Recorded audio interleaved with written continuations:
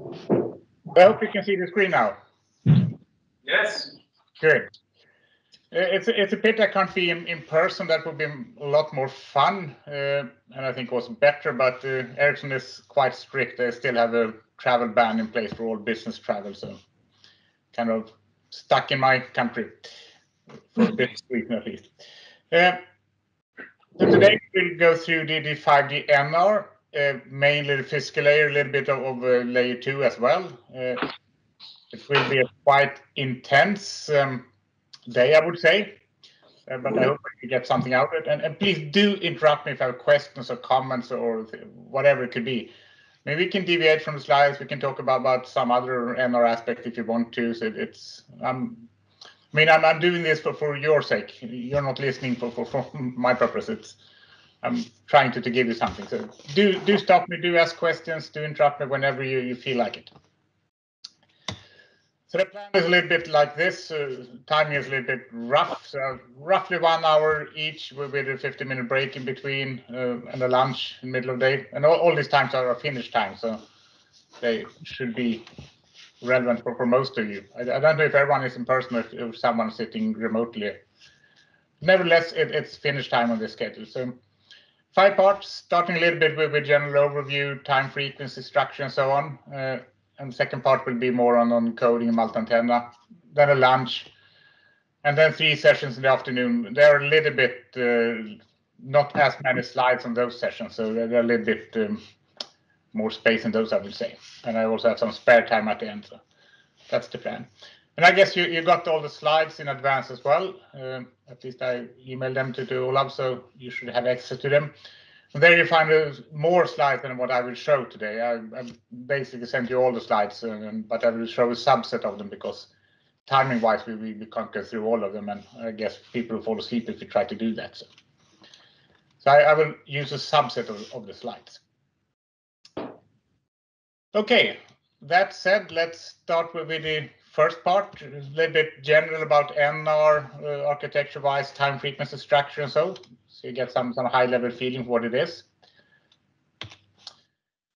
Uh, I'm not sure how familiar are with 3GPP, the, the stand, standard setting organization or standard developing organization uh, doing uh, NR. And, but uh, we have releases. Uh, there's a new release roughly every 18th month or so. It varies a little bit. Uh, and, and, it started all the way back to, to 3G. So the, release where NR first appeared was release 15, and that was uh, completed in um, mid 2018. Uh, so that was the first uh, 5G specification. And actually, it was uh, an early drop by the end of 2017 with, with uh, non the non-standalone version of it. We'll get back to what that is later on. Uh, to meet uh, early commercial requirements because some operators wanted to be early out and deploy it already in 2018. So we needed a, an early drop in end of 2017 as well. So that was a bit unusual. And the focus on this first release, that was a lot of MBB, uh, because that is the, the service we know that flies business-wise. Uh, there was also some focus on ultra reliable low latency communication in, in that first release. And then it comes new releases, release 16 that's completed uh, basically beginning of last year. And there we have integrated access and backhaul, which is basic relaying. We have support for unlicensed spectra. We had some uh, more support for, for uh, enhanced URLLC, industrial Internet of Things. We positioning and then other things as well. And then right now, 3GPP is working on release 17, which is about to conclude uh, end of this year. the, the, last things put in, in place right now. So that, that release has been a little bit longer because due to the COVID situation, the, all the physical meetings have been, uh, yeah, were not possible to have. So we, we had email and uh, electronic meetings during the last one and a half year, and that slows down progress a bit. But in, in that release 17, we looked at the higher frequencies uh, up to 71 gigahertz. We have looked at how to integrate satellites. RedCap is it basically is reduced capability. It is um, intention is to support industrial uh, things, industrial IoT and things like that, but with a little bit reduced capabilities. You don't need the, the gigabits you can get from NR. You, you can do with something less. Multicast broadcast is another thing we have there as well, and a couple of other things. And then we'll start release 18 and release 19, and then at some point release 20, and then we'll probably get into the 6G era. So, sorry, sorry, uh, I just missed what NTN is. Non-terrestrial networks. It's basically satellites. Okay. Flying platforms. Because that has been a quite a hot area lately with a lot of satellite industry joining 3GPP as well, and um, see can we use this this technology also for satellite purposes. So the two worlds are, are getting closer. And that is about to be finished now, all these. Yes, release 17 is about to be finished. And when it comes to NTN, the satellites, there's also some satellites for, for work for LTE as well, actually. But release 17 is, about to finish. So the um, new the specifications will be updated um, by the end of this year, uh, and, then we start to work on release 18 instead. So what, what do we get from, from uh, NR? Um, this is my, my kind of standard slide if I want to highlight a few things. Uh, first thing uh, you should talk about is ultra lean. I have some, some slides on, on, on that later on. We have a wider spectrum range.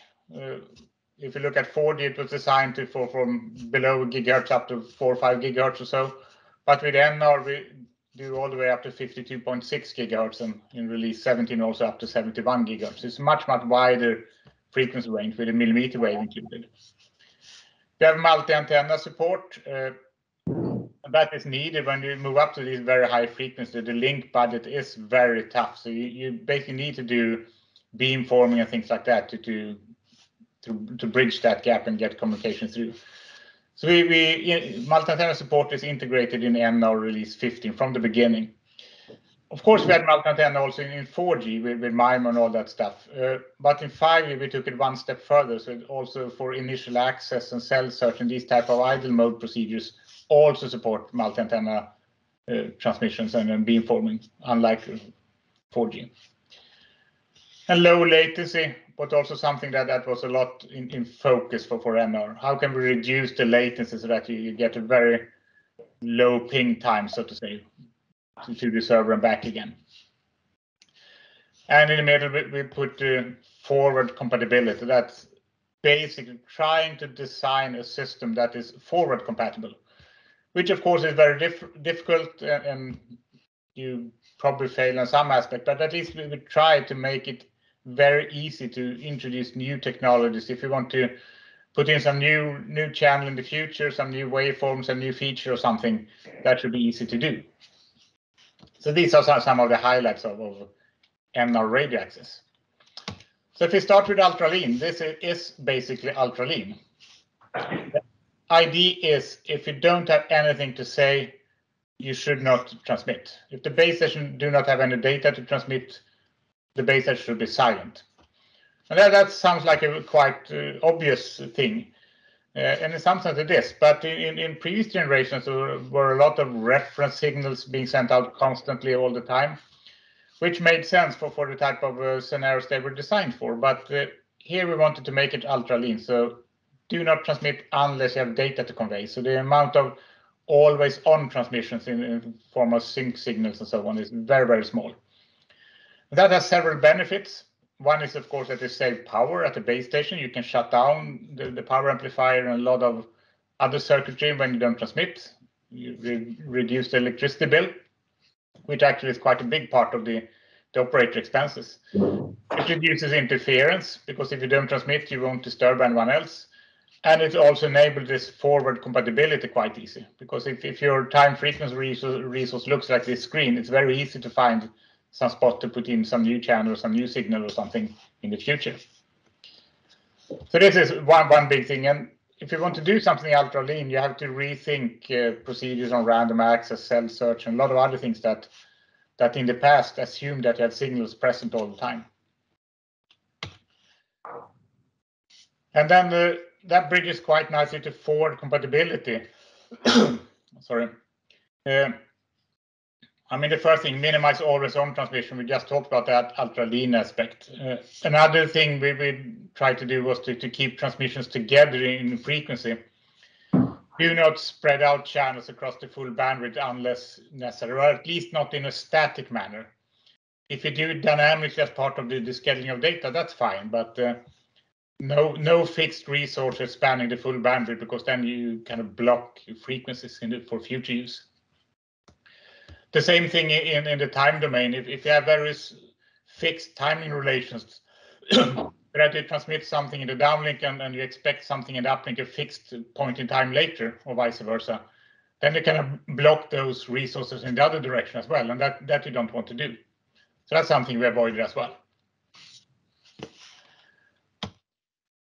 Frequency-wise, uh, I said that we moved up in frequency with, with NR, and that's true. And the reason we do that is not because it, it's better or that is more fun or so. It is more challenging, but the reason we do it is to get access to more bandwidth. We need more spectrum. And if you look in the in the lower parts here, one, two, three gigahertz, it, it's quite busy with, a lot of um, other systems running there, other cellular system and communication system, and a lot of other things.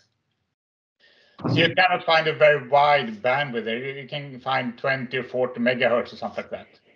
But if you move up to the, to the millimeter range here, around 30 gigahertz, we can find uh, up to 800 megahertz of bandwidth in, in that range. So much wider channels gives you much higher data rates, which is something we wanted to get.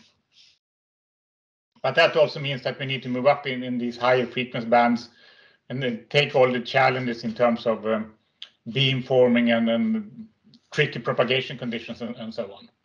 So it's tougher up there, but it, it gives you wide bandwidth in return.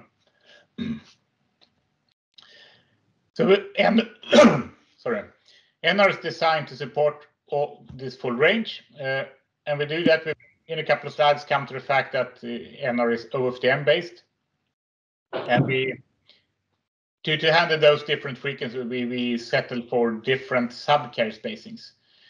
In principle, if you design an OFDM system, you want to do have as low sub-carrier spacing as possible, because then you can get a relatively long cyclic prefix in, in microseconds without increasing the overhead too much. Problem with the low sub-carrier spacing is that one problem is that you can't do very high Dopplers. So you probably shouldn't have a Doppler frequency higher than roughly 10% of the sub-carrier spacing. Another problem is that um, you put strict requirements on your local oscillators and so on, phase noise and things like that.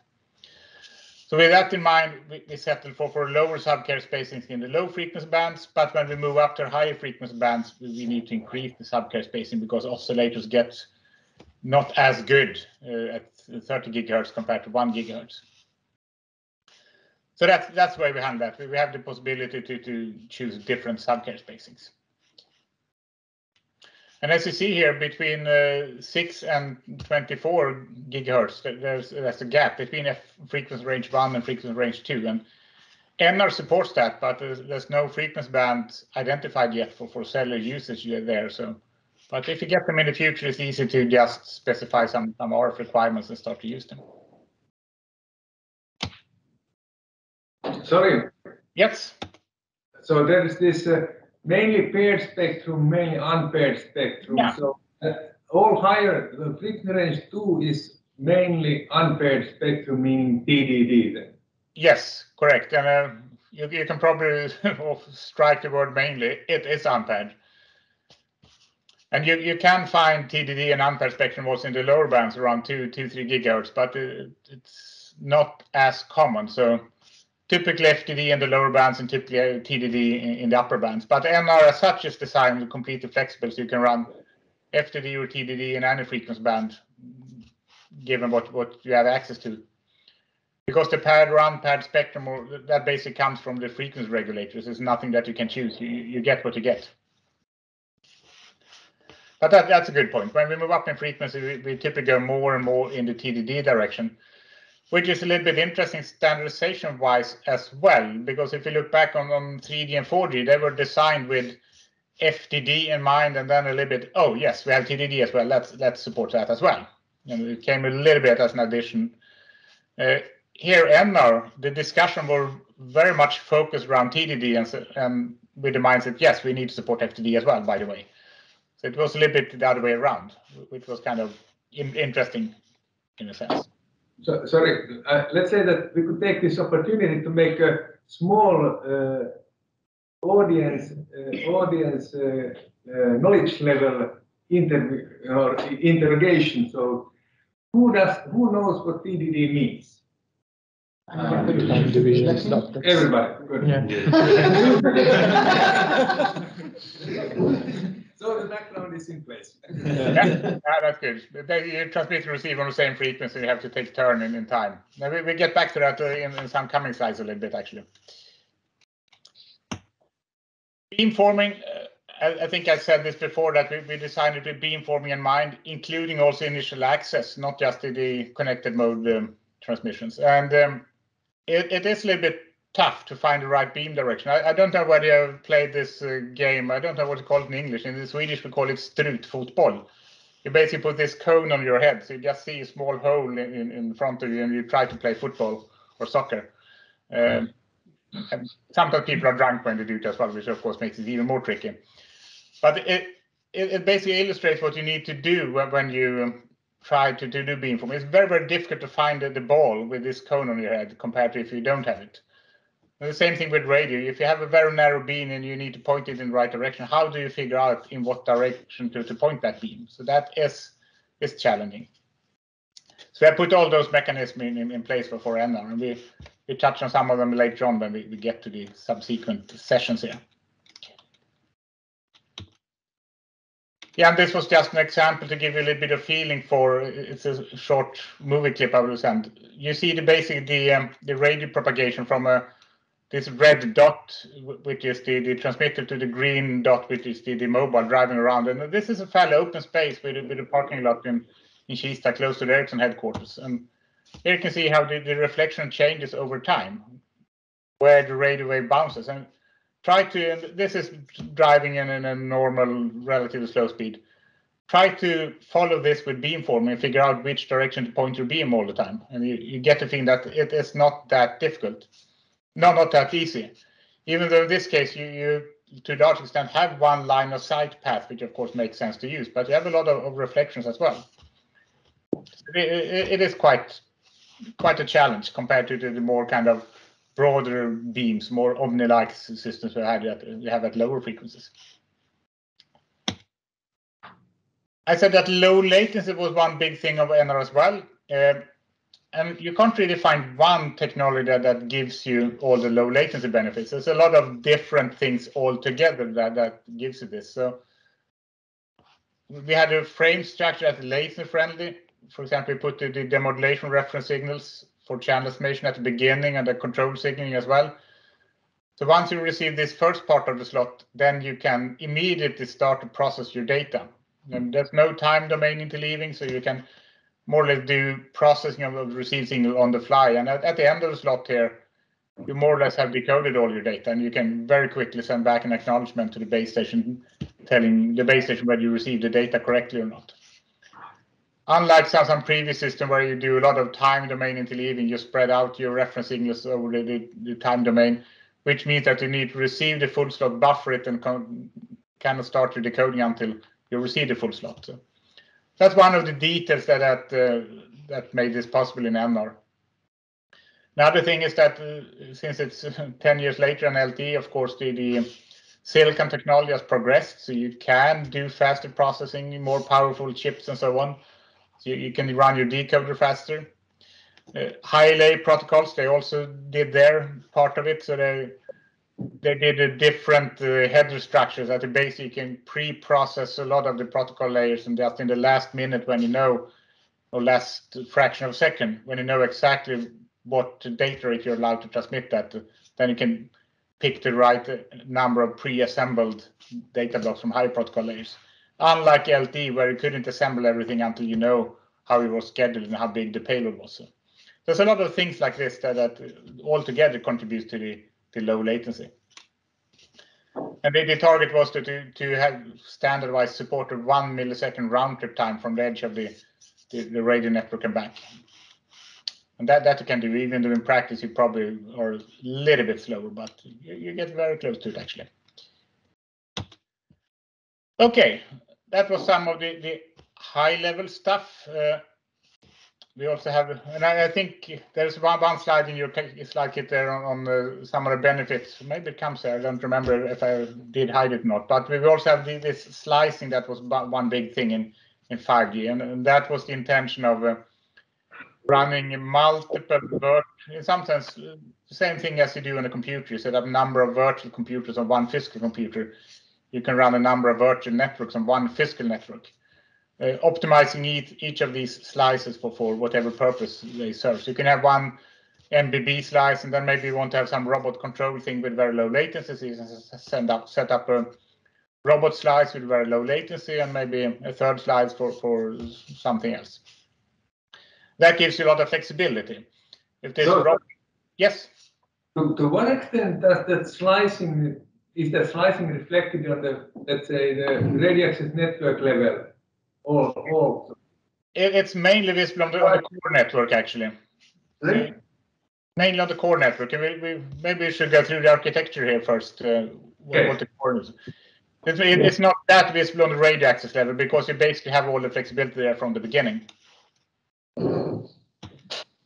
If you, if you look at the, the architectural options, uh, if you remember one of the first slides I talked about non-standalone, uh, that was December 2017, this a little bit early drop.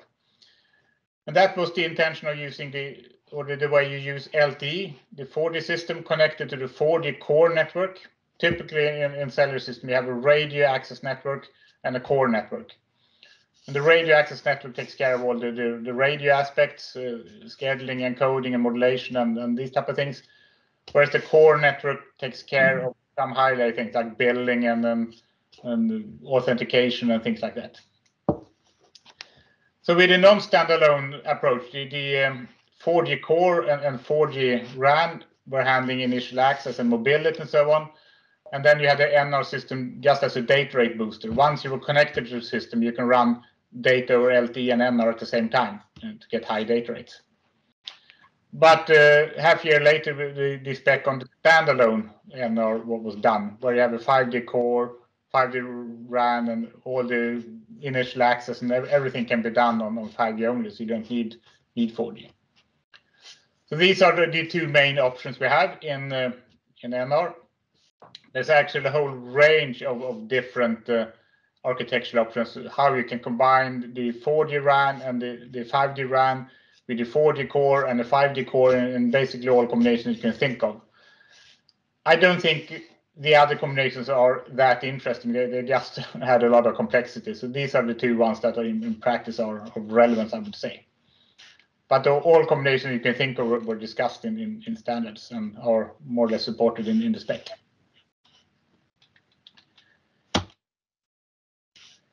Yeah, here, here we get to, to the slicing. Uh, and that is something you can do with, with a 5G core. And, as I said, the idea is to be able to set up different slices here. You can have an MBB web surfing slice, media slice, some robotics, some health, or whatever. And the idea here is to quickly be able to try out some new service. You come up with, with a new uh, service you want to try out. You don't know whether it flies business-wise or not, but you can configure it in the network. You can run it and see if, if you get subscribers and usage of it. If not, you can you can just deconfigure it. And that's of course much less expensive compared to building a complete separate physical network. And that, that is mainly done at the core network level. So the, the RAN, the radio access network doesn't really have to bother too much with this. It's basically just setting quality of service parameters for different data flows and make sure that the scheduling is done in the right way. But uh, you, you, don't see it that much on, on the RAN side. There were also a more cloud-friendly architecture on, the core network side in, in 5G. So instead of the, old way of thinking where we basically have different uh, boxes and you define the interfaces between these boxes, you define different services. These are basically the small containers in, a cloud or something like that that can send messages to each other and, do whatever it's supposed to do. And then interface down to the radio access network. The, the, the core network in, in 5G is a lot more cloud friendly than in, in, previous Gs. Uh, and something that's likely to happen in 6G is that also the RAN will become more more cloudified or cloud inspired in a way, but not not yet in, in, in 5G, at least not from a spec perspective. And there's, there's some uh, additions on the quality of service handling that you can do in, in, the, in the 5G core that you cannot do with the 4G core. Um, and of course, you need that to support slicing as well.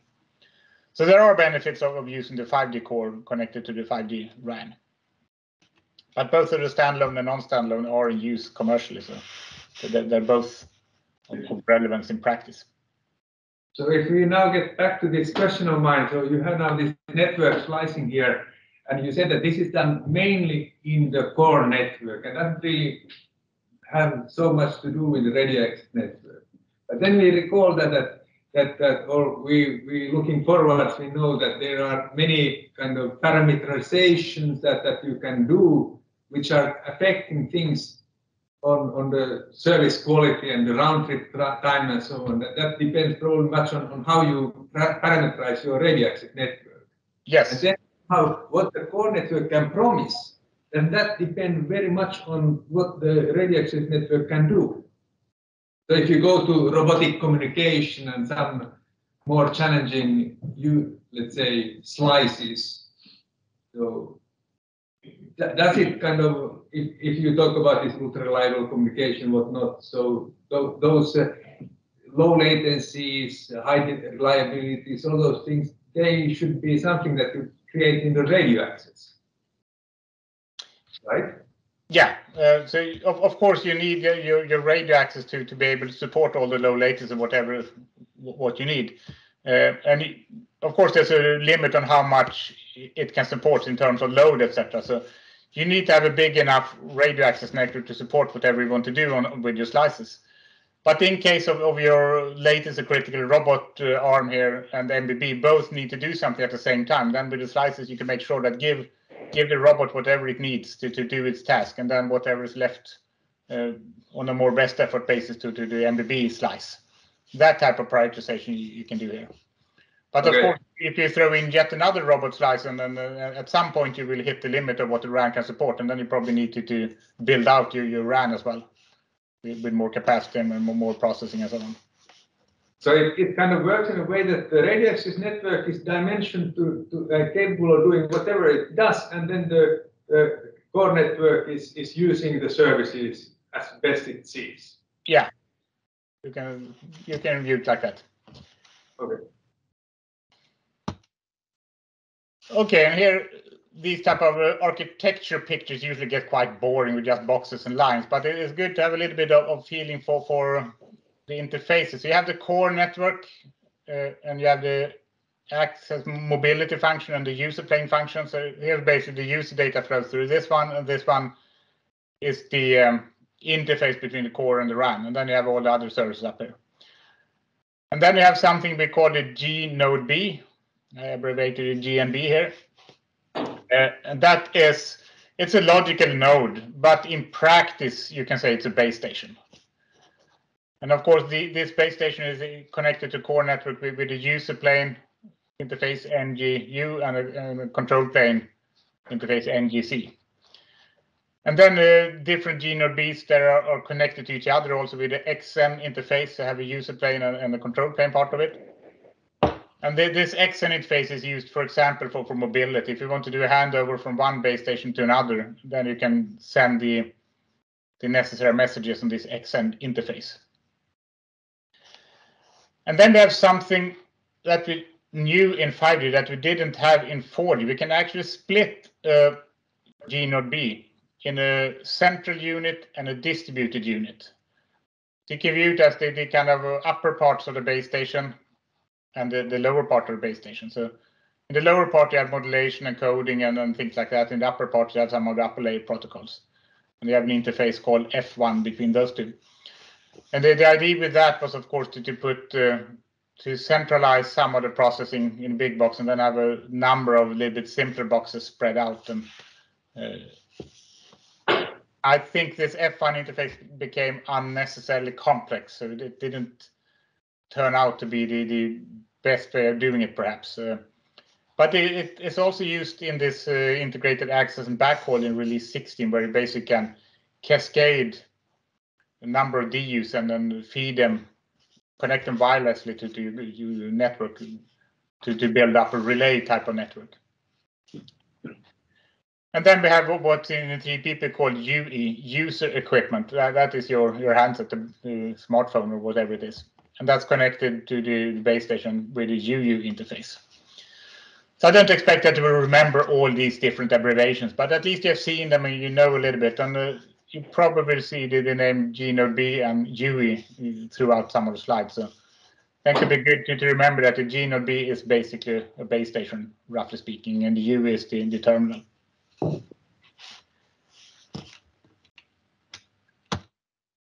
And why it's called uh, Node B? That, that has a long hist history, all, all the way back in, in uh, 3G days, 20 years ago. They, they, sketched architecture and they couldn't agree what to call the base station. So they said, ah, let's temporarily call this for Node B. And, and they never came out of that. The base station in 3G was Node B. And then in, in 4G, it was an en enhanced Node B, E Node B. And in 5G, it's a generalized Node B, a G Node B.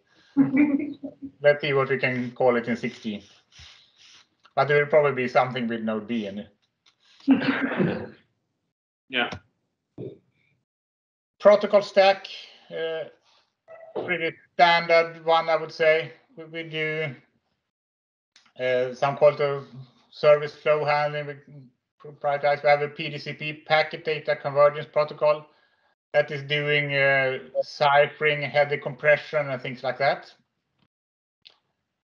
Then we do uh, RLC, radio link control. We can do uh, segmentation. If the packet is, is bigger than what you can fit on the, on, on the radio interface at this point in time, you, you can chop it up. You have a retransmission protocol here as well. Then you multiplex everything together so you get one flow, and and uh, then you do a hybrid ARQ, which is another retransmission protocol. We will talk more about these retransmission protocols after lunch. We'll get back to those. And then after the medium access control, we get down to the physical layer with, coding and uh, antenna mapping and modulation and these type of things. This is, in some sense, a fairly traditional protocol stack, uh, quite similar to 4G and probably also 3G. And here you see the split between the CU and DU. That's done here between the PDCP and the RLC. Now, just one question. For slicing, we what I understand from you, until now, we didn't reach to the point in 5G to, uh, to slice the radio bar? No, no, not in a static way. I mean, you you you can dynamically, of course, if, if you have data both for the robot and then for for the, the broadband thing coming at the same time, then you can prioritize control the, the core network and make sure that the, the robot data mm. gets priority here, and then the robot data gets through all this in a sent, and the, the MBB data has to wait until the robot is data is through. So it, it's not a, a, static slicing in the sense that you set aside certain time resources or frequency resources for a certain service, because that would be inefficient. So you want to do that on a on a very dynamic basis as part of the, the scheduling. So at each point in time, you take a decision what, what data to prioritize and what, what to transmit or not transmit. Thank you. I think you're asking if the slicing is on the RAN part or not. Yeah. Yeah. Uh, another question.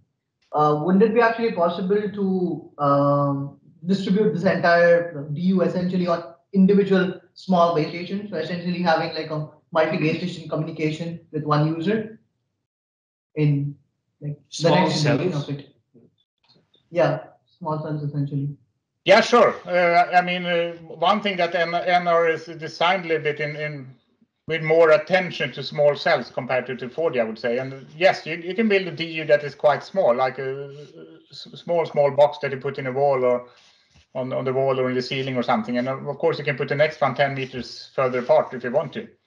And that's what, what you do in, in indoor deployment sometimes. Then maybe you put one small DU in each room or something like that. So a little bit like you would deploy some some Wi-Fi nodes, same type of thing. And then you can have this DU processing done in, in, in that small node and you put all the CU stuff at one place.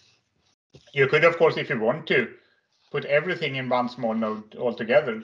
It's completely up to the implementation, what you as a manufacturer think makes sense and um, that you can sell and so on. So the standard doesn't tell you anything on how to implement it. It just, just gives you the tools to, to implement things in a lot of different ways.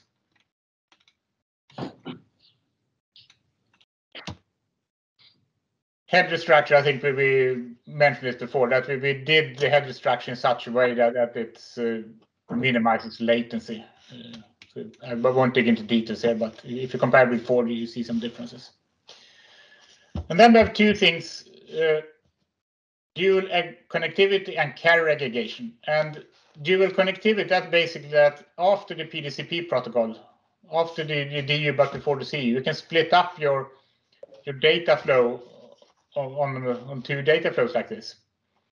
And each of these, the, the, the pink one and, and, the yellow one is scheduled completely independently, does their own retransmissions and so on.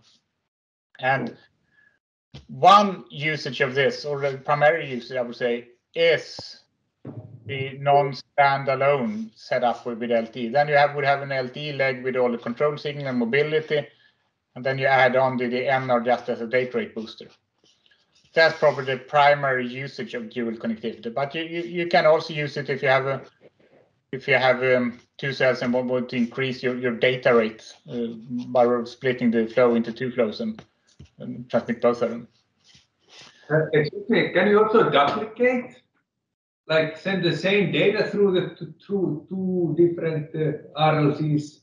Yes, you, you can. You, you can duplicate the data, so to say, and exact, exactly the same data through both of these legs. And that, that could be good for, for reliability reasons, for example. So in the receiver, hopefully you receive at least one copy. And if you transmit those from, from from different cell sites, for example. So if one path is blocked, hopefully the other path is not blocked and is received properly by, by the UE. So that's another usage of it. And then in, in receiving end, if it, if it sees that two packets, two copies of the same packets, uh, then of course it throws away one of them because you just need one copy. But you can also do carrier aggregation, and that is within the same GNB. You see here the split is a much lower layer that's much further down, basically just before the physical layer.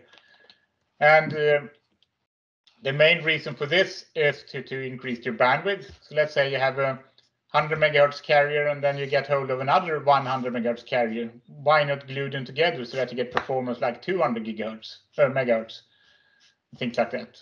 Or you have a fragment of spectrum. You have 20 mega at one band and another 20 mega at another band. Uh, why not, so to say, glue them together so you get 40 megahertz of, of spectrum and can offer higher data rates and so on. In this case, it's done within the same base station. Uh, and as part of the scheduling, which is this, it's one schedule in the base station, that schedule determines for each, basically on a millisecond basis, uh, which data to put where and how to transmit it. Unlike dual connectivity, where each base station had their own scheduler and there, there's less of connect, they're not as um, tightly integrated, the, the two legs here. And you can, of course, combine the two. So you can do dual connectivity, and within each of these two legs, you can have a carrier aggregation. That, that's also possible. But the, the, the, big difference is this is between GNBs and this is within the same GNB. So that's the, the high level difference between the two. How would you differentiate this thing with the architecture that you've shown before uh, with Gnode B control unit and Gnode B data unit. How are we differentiated from what?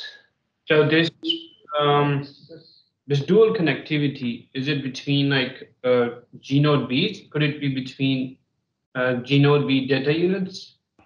Like, yeah, if if you implement it that way, I would say this is the CU, the PDCP part here, and then you have one DU down there, and then you have another DU down here. So, that, that's where you would view it in, in, the architecture domain. There are one CU, but then two different DUs, and those DUs could very well and typically are at, at different uh, sites. But it would not be between GNBs then, so you don't use this X interface there? No, Okay, maybe one should write between DUs here instead of GNBs. Uh, of course, this could be a complete GNB with, with a PDCP for some other user up here, but uh, that's not shown here. But uh, maybe it would be more correct to say between the DUs or something like that. And here say with- within the same DU. That, that's probably a stricter way of writing it. You, good point.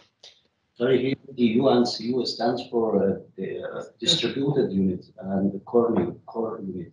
Central. Cen- cen- CU is a central unit Mhm. and distributed unit. So Yeah, distributed units. Ca- Another thing, uh, is it possible to actually have orthogonal like frequencies, like an F- OFDM on the dual connectivity?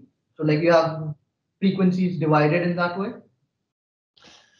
how would you do? I missed how you define the frequency. Uh, So, I mean, if you want to define, because you can define radio, uh, link control of both of them, right? yes. So you choose subcarriers and you basically, so the control layer basically divides the subcarriers, orthogonal subcarriers on the two. So you essentially have two orthogonal in like one system. On one, you know, obviously, this is only on one. Uh, I, I wouldn't say that the, the typical way to do dual connectivity is to, to sort of say interlace the subcarriers. It's probably more on a carrier basis. But in principle, you could, uh, I think you could do it and then interlace the two on, on a resource block level with, with 12 subcarriers each. But I never heard anyone trying to do that. But I, I guess you could, unless there's some small signal somewhere that, that messes up. But, but the typical way is to, to run these on different carrier frequencies.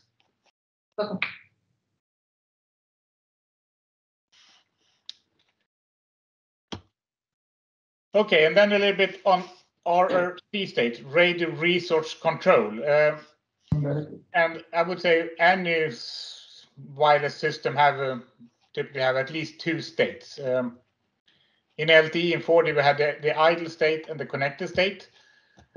Whereas the idle state is where, where it typically sits uh, when you're not using your phone. You, there's no data transfer. You have no context. You don't have an IP address. Uh, no core network connection. The device just figure out which which cell to camp upon when, when you move around. And then when you want to transmit data, you go to the connected state. So you, you have an IP address. The core network is aware about this uh, device. The network is in, in charge of mobility, so the network knows when to hand over the, the, um, the handset or the UE from one cell to another. Those were the two states you had in 4G. Uh, and then it turned out that handset manufacturers, they, they of course they had to do be an RRC connected to do data transfer, but then they were very keen on quickly go to RRC idle to, to absolute to minimize the, the power consumption and save battery. Which meant that when when you later on a second later clicked on the link or, or you got some some notification or something, you have to re-establish the connection, go back to connected. That, that takes some control signaling. So to handle that in, in LTE, there in, NR and also in later releases of LTE, there's actually an intermediate state as well, an RRC inactive state, where you can't transfer any data, but you keep your your, your context, all the configuration, and then the IP address and so on. There's a little bit a mix of the two. So it, it gives you the the low power consumption of the idle state, but it keeps the configuration so you quickly can switch back to connected state to, tr- to transmit data. So it, it sits in between those two states. So that is something that NR has, and the, the idea is then that you, you, you transmit your data, then go to RRC inactive, and then quickly back to connected and jump between these two. At least for these type of very frequent switching, where when you have a second or two between your packets.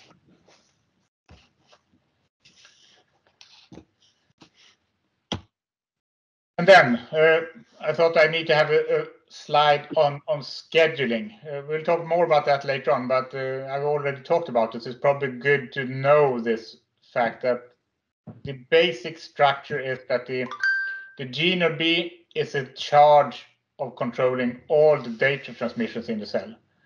So it determines when the UE is allowed to transmit in the uplink and when the UE is supposed to, to receive data in the downlink. So it, it basically takes the, these decisions on, on a millisecond basis or even faster than a millisecond. So the downlink, the, the, scheduler figures, figures out from which of the data flows should I take data.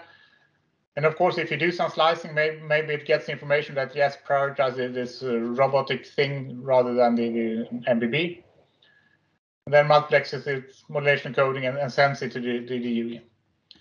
And in order to do good transmission, it, gets channel state information from the UE. It gets knowledge about the radio quality experienced by the. So it can pick the, the set of subcarriers that has a high quality and avoid those that are bad quality. Same thing in the uplink. You have the scheduler sitting in, in the base station or in the DU. Uh, but in this case, of course, you have all the data buffers in the UE. So then you need to send some buffer status reports and things like that. And then you take a decision in, the in the DU and the UE. Now we're supposed to transmit with this data rate using this modulation scheme on, on those resources. So the, the base station is in control.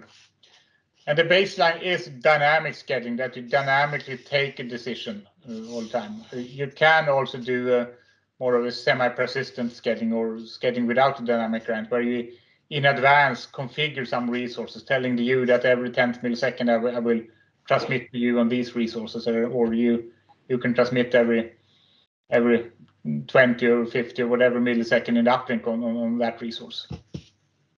But the baseline is uh, dynamic scheduling. So the, the, scheduler in the base station is in control of, of all the transmission activities.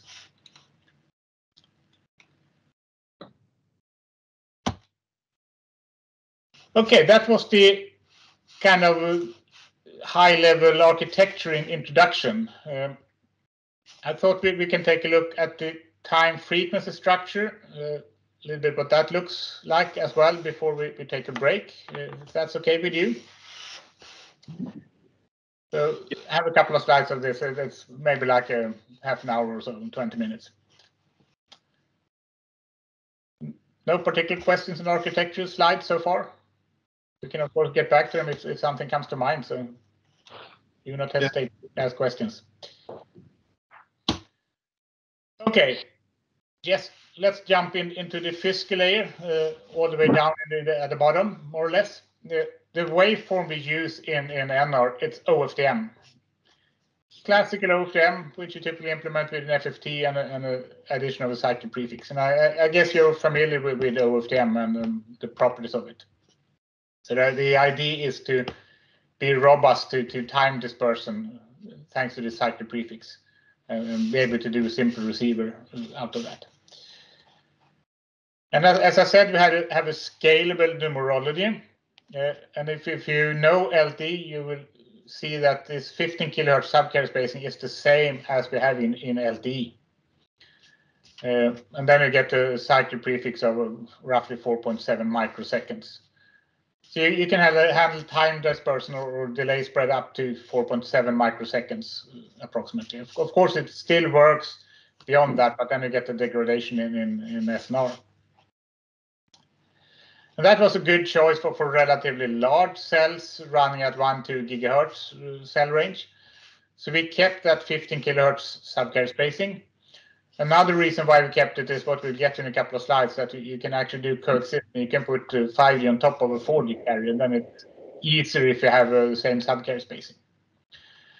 But then, as I said, in order to support the high carrier frequencies, where your oscillators get less accurate and noisier and so on, it's good to have a higher subcarrier spacing at, at those frequencies. So we we can actually scale it in, in factors of two up to 200, 120 kilohertz for data transmissions. And then you see the, the cyclic prefix scales down in, in proportion. So then you can't have, handle as high time dispersion. But that's fine because at those frequencies, high carrier frequency, you typically have a relatively small cell, you have a lot of beam forming, so you don't experience as much delay spread as you do in, in the lower large cell deployment. So you have this scalability possibility here. So that's something you, you configure in, in your system. And as I said, OFDM, that is actually the baseline also in the uplink. And this is a little bit unlike LTE, because in LTE we had a DFT spread OFDM, so we put a DFT in front of it here.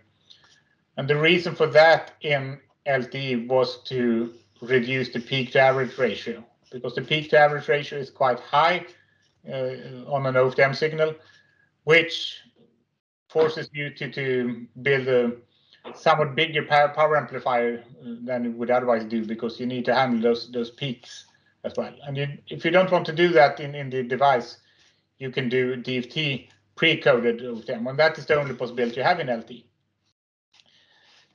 So that is good for, for device reasons, but it's not that nice when it comes to the combination with MIMO and so on. It gets more complicated. So in NR, we said that we do OFDM in both uplink and downlink, but we have a complementary possibility for DFT spread uplink in case of single layer transmission with, with no MIMO. Then you can, the network can decide to turn on this DFT precoder, thereby allowing the UE maybe to, to, to get, gain a dB or two of, of um, coverage.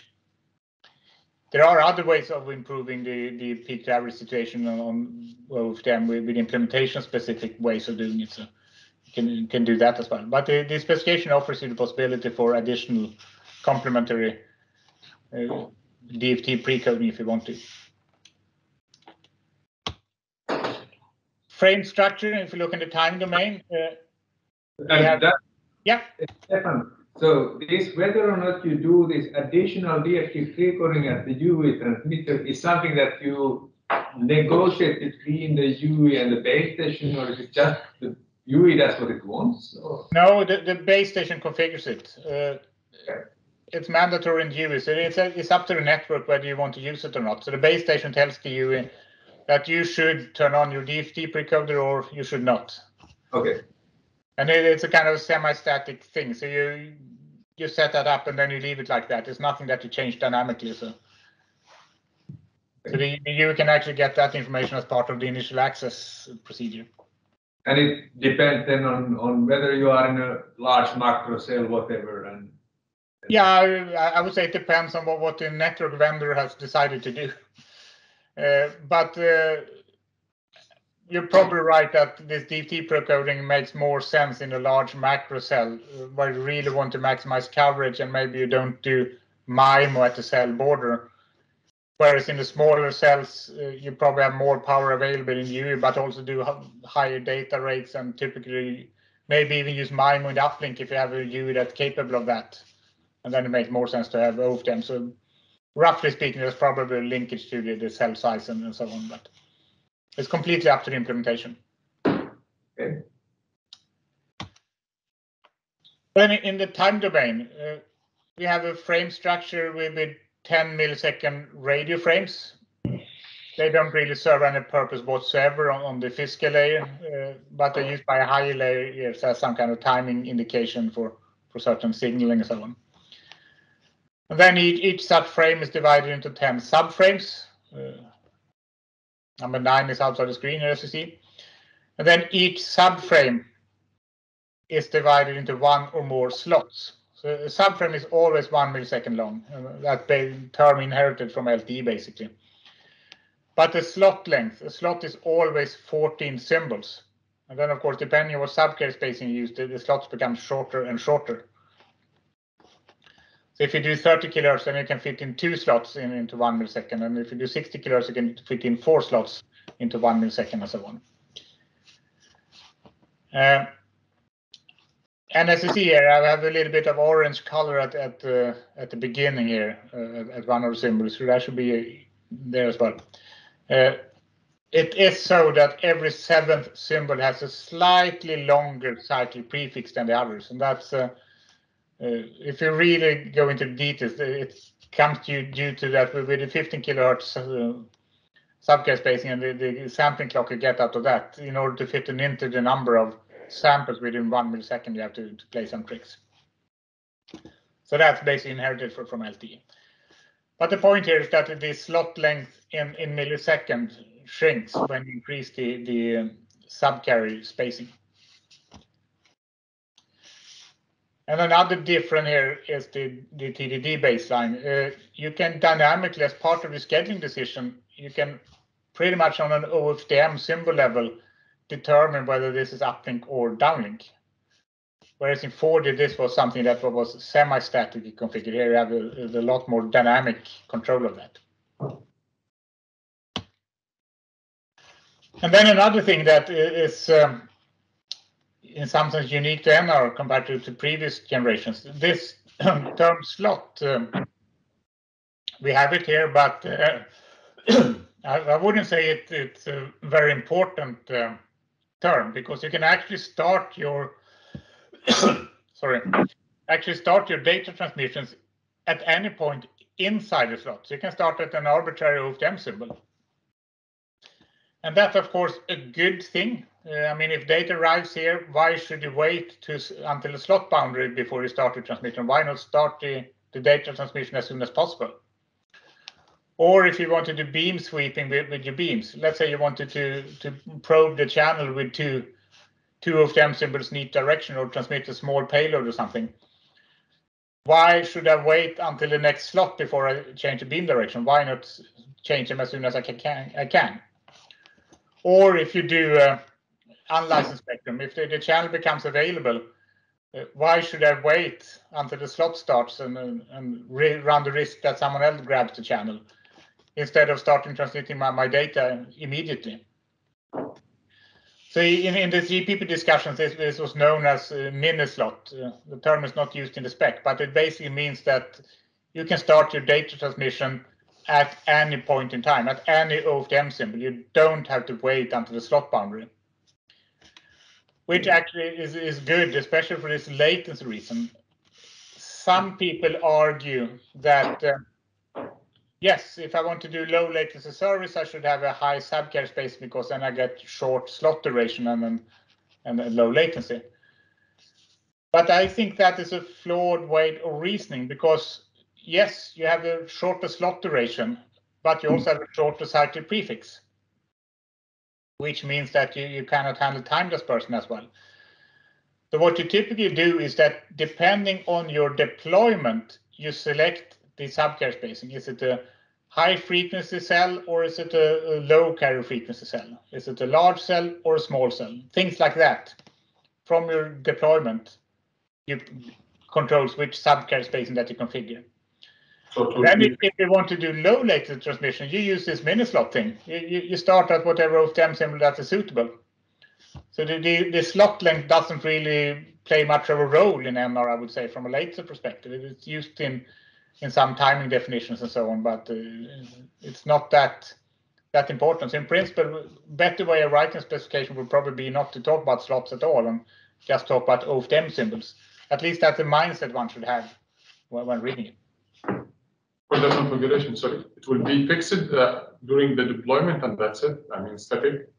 Yeah, it, it's something that, that you configure in a fairly static manner. You can, of course, reconfigure it in the in the cell, but that basically means restarting the cell.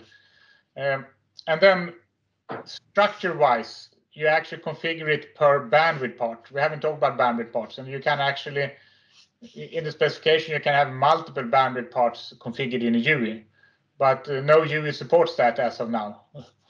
So it, it, specification-wise, you could, in principle, mix uh, multiple numerologies in the same cell, but it, it's not done in practice. And I think the, the incentive to do that is fairly small as well. Why would you why would you run with a too short cyclic prefix compared to what, what the propagation conditions in, in that cell tells you? Why would you pick a too large cyclic prefix? And see, it's more more determined by, by the deployment than anything else. This configuration, I would say. But but but uh, you will probably come back to the concept of control channels because this sets some uh, requirements on, on, on control channels to be able to schedule separately each symbol, right? Yes. So we will we'll get back to that. I think it was the yeah after lunch sometime, the fourth part. we, we, we, will talk a little bit more about control channels. And yes, you're perfectly right. You you need to pinpoint which of them symbol the transmission starts at, and not just which slot.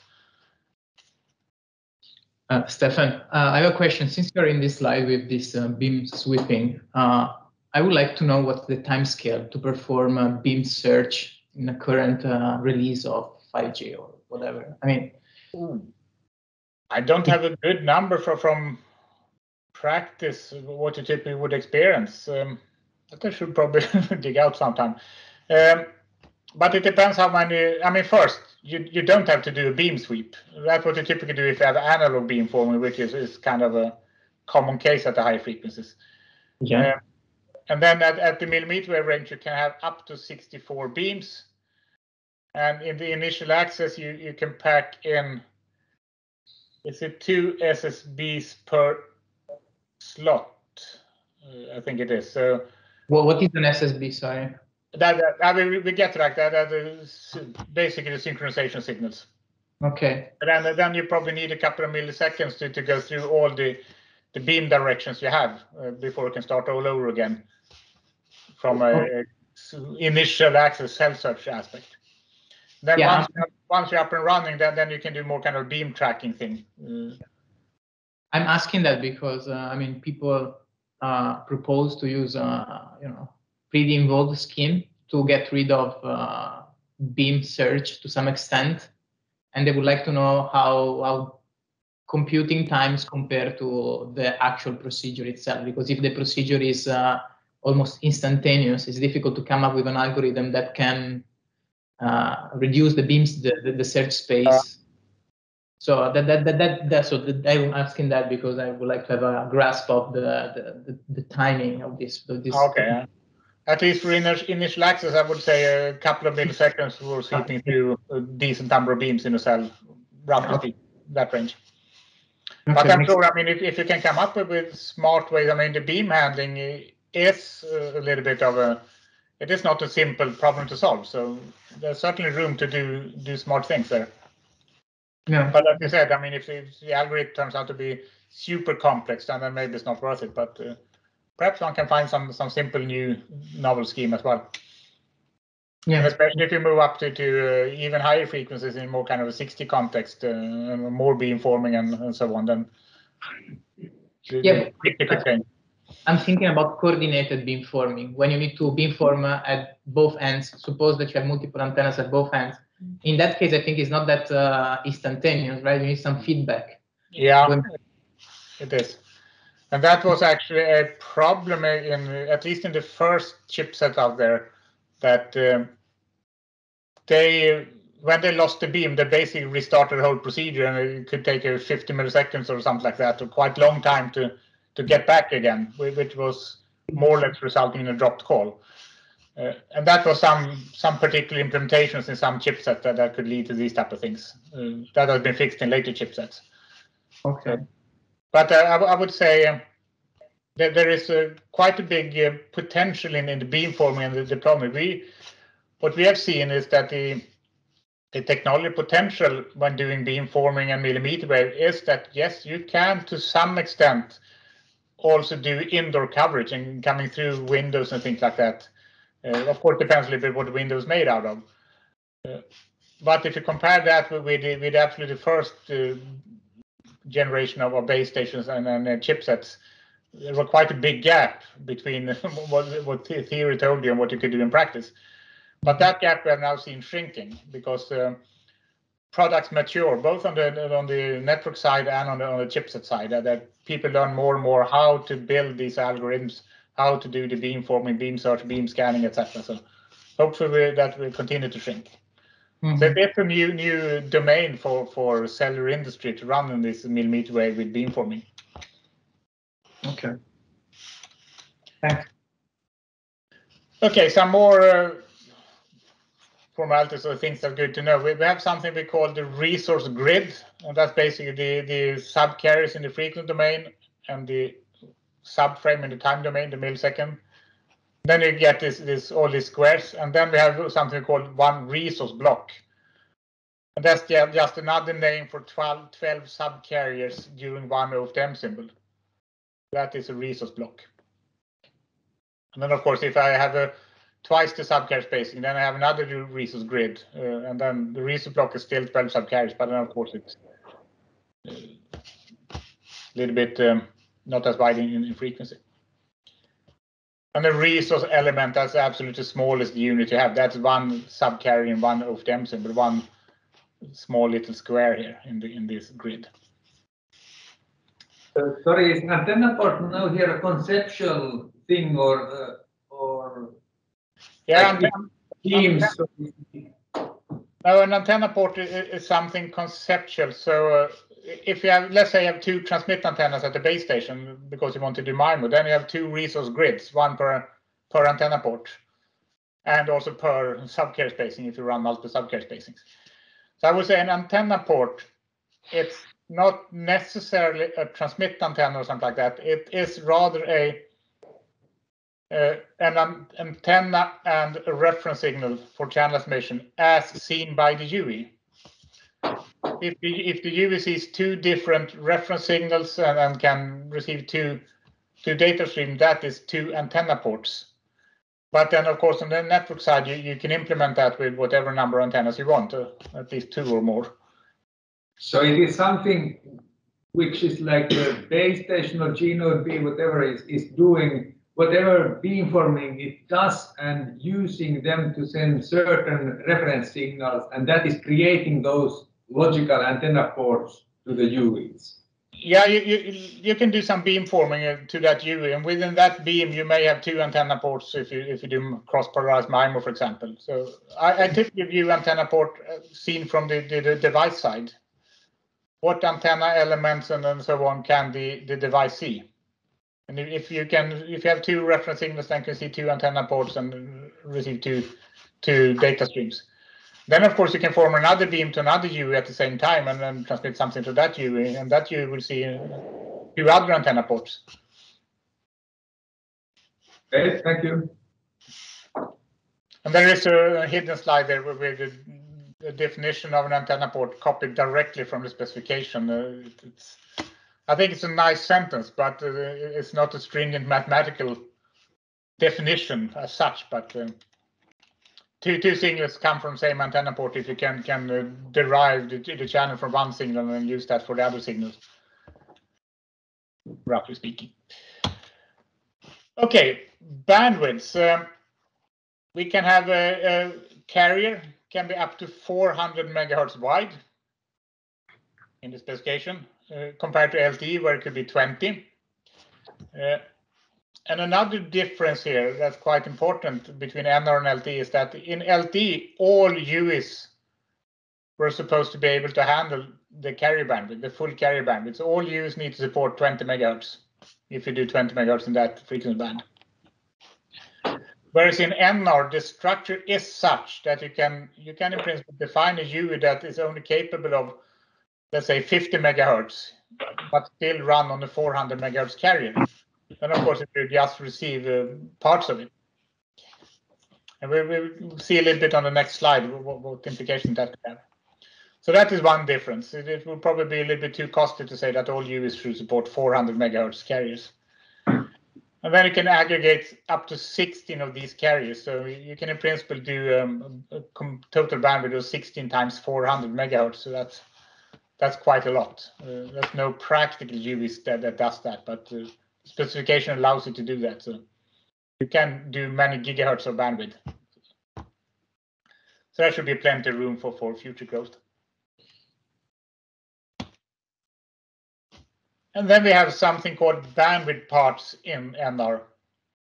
And I think uh, I, I, sometimes say that is one of the most over-engineered concepts we have. Uh, and it, it's something new in NR. I think it created quite a bit of mess and discussion when trying to figure out how to handle them. Uh, partially because different people had different understanding what to use them for, and they became a little bit too flexible. But they they had a number of, of ideas. One of them was this bandwidth adaptation.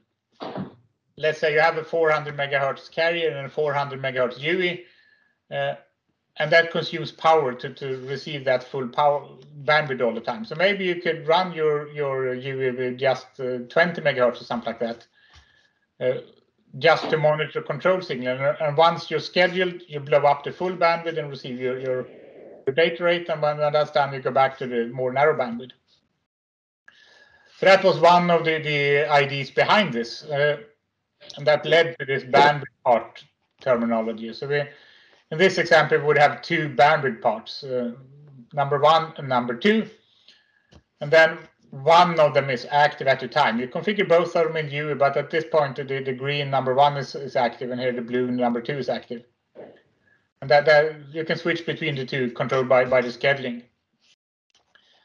So UE can actually be configured up to four bandwidth parts per carrier, uh, and one of these bandwidth parts is the active one It's the active bandwidth part you do the scheduling within and so on.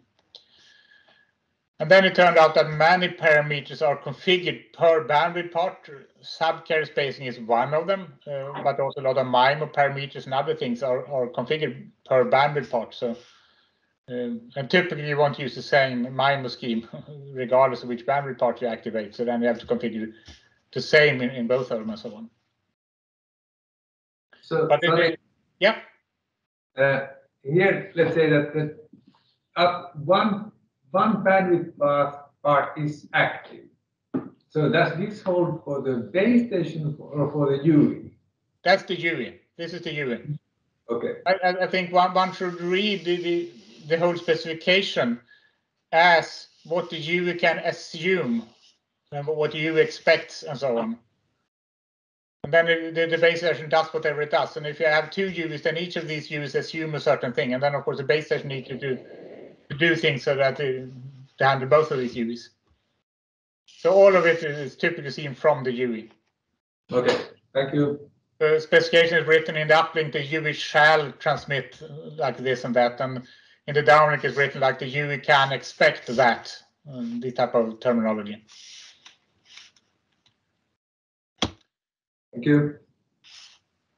And then we have the, the coexistence thing, and I think this is one quite important thing that NR and LTE can coexist on the same carrier. And there's a, number of, reasons for that. Uh, one is, of course, that you, you have some lower band spectrum. You, you have some spectrum in the two, three, four gigahertz range or whatever. You run LTE there today, but as an operator, you, you would like to introduce 5G.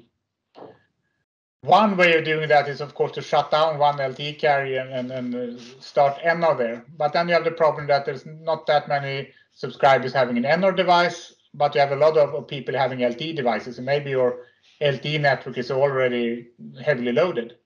You can't afford that. But instead, you can actually do uh, some kind of overlay type of thing. You can put an NR carrier on top of the LTE carrier. And here comes the, the choice of, of uh, sub-carrier spacing comes back again. Since both NR and LTE can run with 15 kilohertz, it is quite easy to get these resource grid to, to match.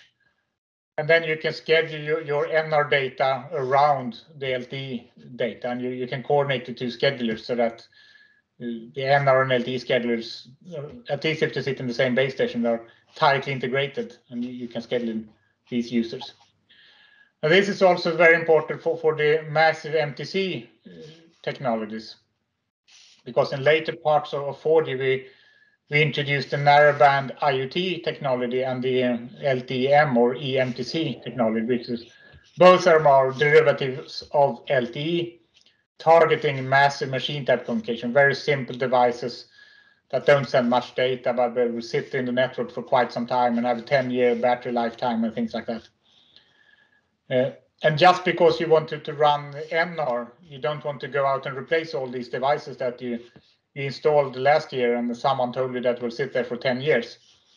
So that's another reason to do this coexistent thing that uh, maybe you move all your MBB users to, to NR, but you still have some massive MTC devices out there doing uh, narrowband IoT or, or LTE-M.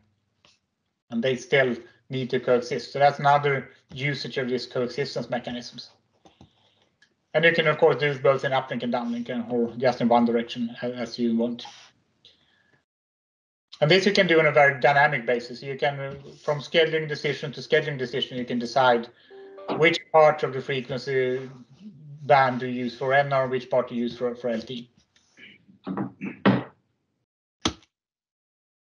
And now, uh, one of the last slides uh, before the break, a little bit on duplexing. We have a unified design for FDD and TDD, and as I said before, the lot of discussions were, were starting in the TDD domain which I think was was kind of nice actually. And having one unified design as much as possible, of course, you have to do some difference on, on the radio side in the end if you build a TDD or an FDD radio, but as much as possible in common is good for um, mass market production. You, you get volumes. You don't have to develop multiple solutions. You develop one solution and then you get up the volume of that. And that, of course, means the price goes down and so on. So we can do TDD, uh, uplink and downlink on the same frequency, take turns in time, or you can do FDD, where uplink and downlink are on different frequencies, and you, but all, all the time. You can also do half duplex FDD. And this is actually what is done in, in GSM, uh, for example. And it's also quite nice uh, because this is a way to, even if you have FDD spectrum, you, you can do without the duplex filter if you want to build a low end UE or low cost thing. So some MTC devices or something like that. Um, because you have separated uplink and downlink in time, you, you, don't need a duplex filter to, which you otherwise would need here from stopping your, your um, downlink transmission to leaking into your uplink receiver and vice versa. And I would say that specification wise, I, I, think you can actually also do some form of full duplex TDD if you transmit and receive at the same time on the same frequency. Uh, that, of course, has quite a lot of impact on the, the implementation. How do you do this interference cancellation with your your strong downlink leaking directly into your uplink receiver? So this is not used in in practice but it's, it's something that is a little bit on the research table and, and uh, it's quite an active area on, more research side. But the, the structure would, would be able to do that as well. But in practice, it's FDD and TDD that are the, the two, two used ones, and to some extent half duplex. But on the, on the TDD side, uh, TDD is kind of interesting because uh, let, us say I have a two two cell setup and the, the rightmost cell transmits in, in the downlink to this device. Of course, that signal will, will go directly into the uplink receiver of the neighboring base station as well, trying to receive this UE at the cell edge. And that UE's transmission would, of course, disturb reception in this UE. So you have a lot of, of interference, downlink to uplink and uplink to downlink interference in, in TDD, or can have. And the classical way of solving that is to have a, a kind of fixed uplink downlink allocation that is the same in all cells. So you, you agree beforehand when, when you set up your system that I do a number of downlink slots, then I switch and I do a number of uplink slots, and you have synchronized this across all the cells. So all cells do downlink at the same time and all cells do uplink at the same time. Then, then you get rid of this problem. Uh, that, of course, has a drawback. If you think about a small cell deployment, you're alone in that cell, maybe it's an isolated cell, you want to download a very big file, why should you waste resources on uplink time slots? Or if you want to upload something, some very big object, why do I need downlink time slots at all? In that type of scenarios, wouldn't it be nice to have this on a very dynamic level that depending on what, what you want to happen in the cell at this point in time, the scheduler decides uplink or downlink, some form of dynamic TDD.